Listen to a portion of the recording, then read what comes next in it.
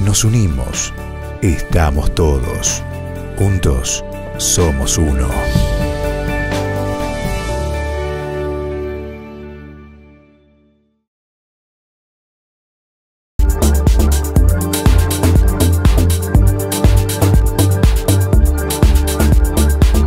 En Mutual de Residentes del Barrio Tais, ampliamos nuestra área de servicios sociales destinados a la atención de la salud de toda la comunidad de El Trébol, con amplias instalaciones, acordes a las exigencias requeridas. Sala de espera espaciosa, con el fin de brindar la mayor comodidad y baños privados. El área de servicios sociales cuenta con atención en medicina clínica, kinesiología, odontología, nutrición, psicología y gabinete de belleza. Conoce nuestro staff de profesionales ingresando a salud.mutualtais.com.ar o acércate a Avenida Libertad 125. Mutual de Residentes del Barrio Tais. Es hora. Es ahora.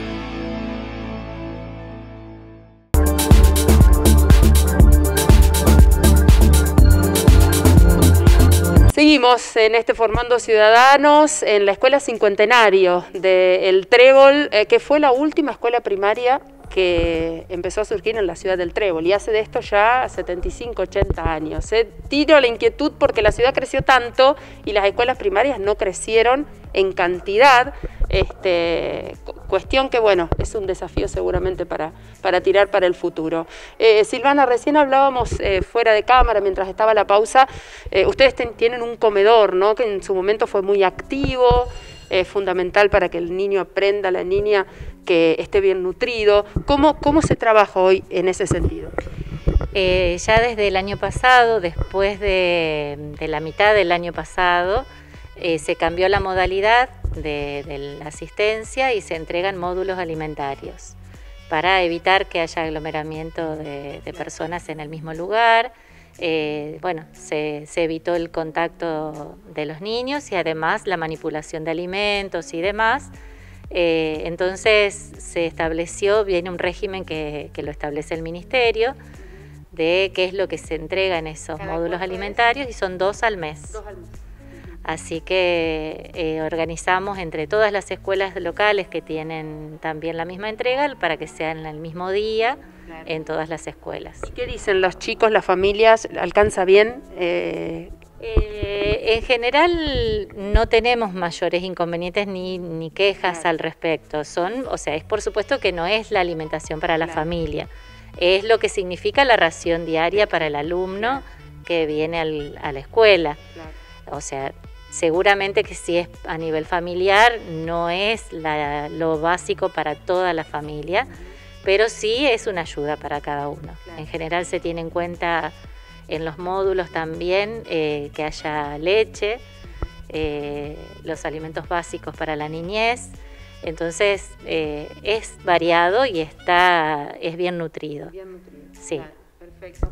Eh, Marce, ¿qué pasa ya que estamos hablando de alimentación con el desayuno, la merienda, la copa de leche, no sé cómo, cómo se denomina ahora? ¿Eso se sigue dando o no? Sí, sí, sí, se da, se da y hace un tiempito también se agregó la leche porque al principio era merienda seca, pero ahora ya se da la leche, se da la, la merienda. Claro, este, sí. y eso se distribuye, vienen los chicos al comedor, van al patio, ¿cómo? No, no, en el horario del recreo tienen claro. el momento para se higienizan las manos, bueno, y, y hacen el desayuno. Claro, sí, claro, tiene, hay dos recreos, uno el primer ciclo y el segundo ciclo, eh, perdón, primero el segundo ciclo y después el primer ciclo. Claro, no, los recreos no coinciden no, para que no estén grandes con niños. Para que no estén claro. y aparte por la cantidad también, para claro. que las burbujas puedan, este, y nosotros podamos observar y, y bueno, que, que, los chicos estén juntos y bueno, por ahí juegan, pero bueno, en ese momento el tabla docente... Lo hacen al aire libre. Sí, lo hacen al aire libre, desayunan y bueno, tienen ese ratito. Perfecto, sí. perfecto. Era cuestión de organizarse, ¿no? Esto de que sí. no, de no estar tan juntos, aprender sí. que ahora hay que hacer las cosas distintas. Sí, por lo menos este, está funcionando todo bien, es lo que nosotros pensamos. Uh -huh. eh, como vos decías, si vos ves la cantidad de número de alumnos que tenemos, por ahí sabemos que hay familias aisladas, pero bueno, en la escuela en sí por ahí no se han dado los casos. casos claro, este... claro. Son las famosas reuniones sociales, ¿no? Que por ahí, o, o, o las clandestinas que todavía... Eh, yo creo que también desde la escuela ahí hay que hacer una, un trabajo de persuasión, ¿no? Para tratar de evitarla. Sí, eh, por lo general eh, los días, eh, cuando los despedimos a los chicos, les decimos que se cuiden, que digan a sus familias también. Los fines de semana, el viernes, hacemos así como un mensajito para que lleven a la casa, un mensajito oral cuando los despedimos. Pero bueno, uno hace lo que, lo que puede. Después ya fuera de la escuela es responsabilidad de cada uno.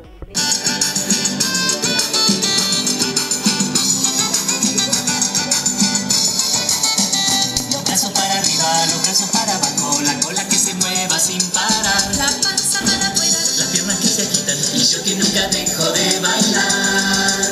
Muevo la cabeza, sacudo el flequillo, levanto los hombros, marcando el compás. Saco la pancita y me giro hacia atrás y abro los brazos queriendo volar. Los brazos para arriba, los brazos para abajo, la cola que se mueva sin parar. La piernas que se agitan y yo que nunca dejo de bailar. Salto con pies juntos, me siento en el piso, flexiono las piernas, las vuelvo a estirar. Hago bicicleta, mucho pedalear y cuando termino me vuelvo a parar.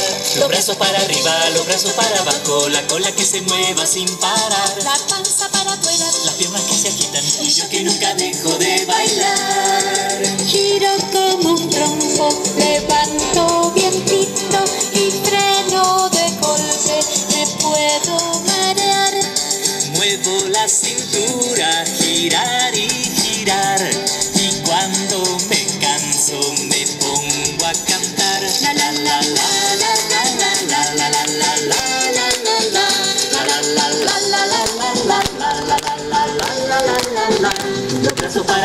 los brazos para abajo, la cola que se mueva sin parar. La panza para afuera, Las piernas que se agitan y yo que nunca dejo de bailar. juego con mis manos, aplaudo en el aire, las ato muy fuerte, las llevo hacia atrás. Luego las desato, me toco los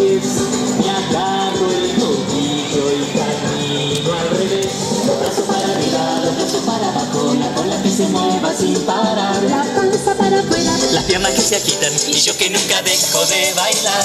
Los brazos para arriba, los brazos para abajo, la cola que se mueva sin parar. la panza para afuera, Las piernas que se agitan y yo que nunca dejo de bailar. Y yo que nunca dejo de bailar. Y yo que nunca dejo de bailar.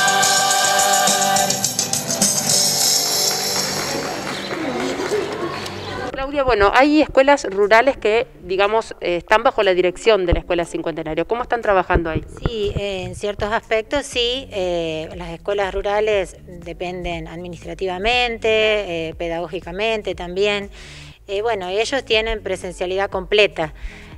Hay dos SER, el SER 260 y, eh, 262 y el 285, Campo Riveri y Campo Guiano. Eh, bueno, no son, eh, no es muy numeroso eh, la cantidad de chicos que tienen, pero eh, como siempre, las escuelas de campo en, los últimos, años fue así, fue, fue descendiendo mucho la matrícula. Y bueno, ellos trabajan todos los días, excepto, bueno, cuando, cuando llueve, que las maestras no pueden llegar, o en el caso de una maestra que vive en la escuela, se comunican virtualmente. O sea, las clases no las pierden, porque se siguen comunicando ahora, en estos tiempos, bueno, eh, con el teléfono. Claro, exacto. Bueno, ya las vamos a ir a visitar, ¿eh? Vamos a ir a visitar. Silvana, bueno, proyectos pedagógicos para este año, eh, ¿hay, existen, se puede proyectar? Sí. Sí, sí, sí. En general siempre el trabajo docente se basa en proyectos porque siempre hay esperanzas, ¿no es cierto? La escuela siempre es la que brinda la esperanza de que se puede, que se pueden hacer cosas. Eh, el año pasado, estando en plena pandemia y con todo cerrado, se ha trabajado en proyectos eh, institucionales y algunos por ciclo, de acuerdo a la, la inquietud de cada grupo de docentes. Así que este año estamos trabajando en eso también. ¿Hay algo que se pueda contar o no? De algún, yo recu- la veo a ella y me acuerdo de las abejas, ¿viste? Cada, cada una que miro me voy acordando de algunos proyectos. Eh, bueno, eh, Sí, sí. Eh, no, bueno, este año nos pasamos un poco también en la literatura, eh, en el recorrido lector del alumno, que por ahí, bueno, que sea desde, desde jardín hasta séptimo.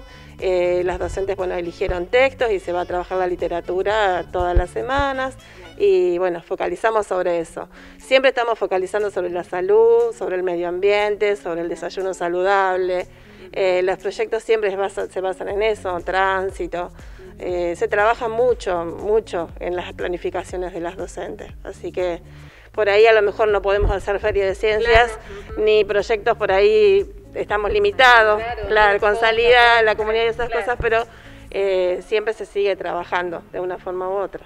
Bueno, la próxima visita va a ser con algunos de estos proyectos, ¿eh? ya, ya les vamos dejando la inquietud. Sí, está bien. Sí, sí, como decía Marcela, este año estamos muy enfocados con la literatura, así que los vamos también a invitar cuando hagamos algún, eh, algún evento, pequeño evento que, que se pueda hacer en este contexto, ¿no es cierto? Seguro. En algunos momentos recuerden los ingresos a la técnica o a la media, eh, se hacía un poco de hincapié en algunas dificultades de lectoescritura, de, los chicos que salían de séptimo, eh, bueno, eso es, clave, ¿no? Que salgan leyendo, interpretando, lo demás con un clic quizás en, en internet lo consiguen, pero el hábito ese de leer, de interpretar, no es fácil si no se adquiere en la escuela. Sí, nosotros ya hace, ya este vendría a ser el tercer año que estamos trabajando en este proyecto y en profundizarlo cada vez más, tratar de lograr que el alumno que termina un séptimo grado tenga un recorrido con material literario y de calidad, digamos, que tenga lecturas realizadas.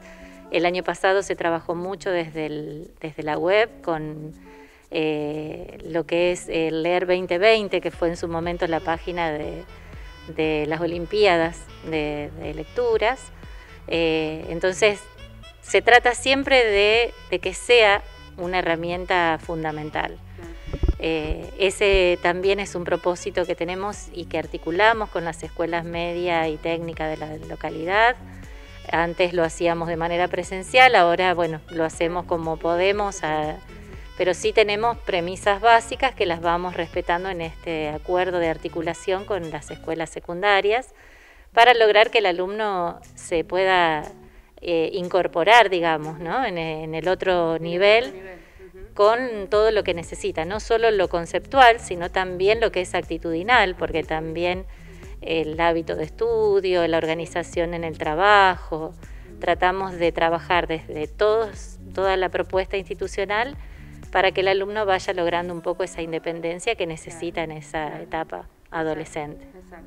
Adecuarse también a este mundo, ¿no? Cada uno potenciar para lo, para lo que nació, para lo que sirve. Cambió mucho de la escuela donde nos criamos nosotros, ¿no? Que era, era mucho más este, cerrada y hoy creo que eso, eso no está en discusión. Yo creo que sí, es muy importante el, el, cambio en ese sentido, en que el alumno pueda encontrar su, su búsqueda interna, digamos, ¿no? En el que pueda encontrar su deseo cumplido y que pueda saber qué es lo que quiere también, ¿no? Seguro, seguro. Para que vengan en definitiva y sean felices y, no se sientan que la estructura los, los agobia, ¿no? Sino que los potencia. En eso hacen hincapié también. Ni hablar, siempre estamos trabajando y bueno, en los alumnos de séptimo se trabaja mucho las técnicas de estudio también. Eh, se focaliza mucho en eso y bueno, la lectura, todo lo que tiene que ver con interpretación, comprensión lectora, este, es esencial. Y también la literatura como disfrute. ¿eh? porque también desde la literatura se trabajan emociones, y un montón sí, de valores que son muy importantes para la vida también. Seguro, seguro. Tener en cuenta lo emocional. Eso está muy bueno. Bueno, chicas, gracias eh, por habernos recibido. Bueno, no, gracias a ustedes. Gracias, Marce. Gracias, gracias. y gracias, Silvana, eh, por, por abrir las puertas de la escuela. Y bueno, creo que es importante que, dejemos el mensaje a la comunidad de que entre todos podemos eh, servir como sociedad, digamos, que, que se refuerce, que se cuida y que es muy importante que, por ejemplo, los casos que nos han afectado a la escuela no nacieron de la escuela, o sea, que no fueron contagios de la escuela, sino que eh, fueron externos y que con los cuidados necesarios no se produjo ningún otro problema hacia adentro de la escuela. Eso es importante, ¿no? Y el trabajo comprometido y que también este, salga ese mensaje a la comunidad eh, para que sepa que, bueno, si los contagios se están dando, se están dando en otro lado, en reuniones sociales, en lo que está prohibido, digamos, no en lo que está protocolizado. Sí, sí. Sí, los protocolos dentro de las instituciones se cumplen y dan resultados positivos porque, bueno, se vio que no, no se produjeron contagios por más que hubo contactos estrechos con personas que estaban contagiadas. Bueno, chicas, muchas gracias. ¿eh? Ya las visitaremos próximamente. Hasta aquí el Formando Ciudadanos de hoy. Seguimos recorriendo las escuelas de la ciudad del Trébol. Nosotros alegres porque el año pasado estuvimos borrados del mapa. Este, este año el hecho de, de retornar, que haya presencialidad, que bueno, eh, sepamos que estamos en una realidad distinta, que quizás durará tres años o cuatro, eso dicen los que saben. Eh, bueno, hay que adaptarse y seguir viviendo. Gracias a ustedes por estar del otro lado. Nos reencontramos la semana que viene con una propuesta parecida a la de hoy.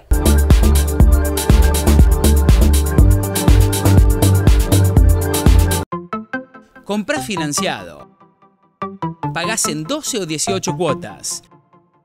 Empezás a abonar en 90 días. Lleva el producto que necesites en 12 o 18 cuotas y la primera la pagás en 90 días. Bien a Muebles y Hogar. Bien ahí, cerca tuyo.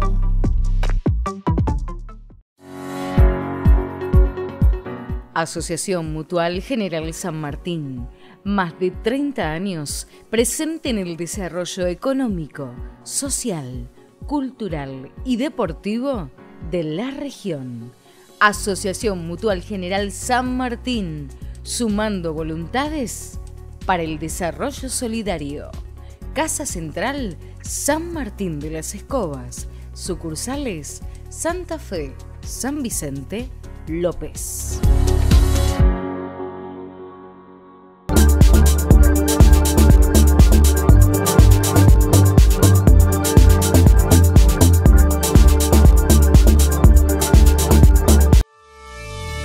Unimos. Estamos todos. Juntos somos uno.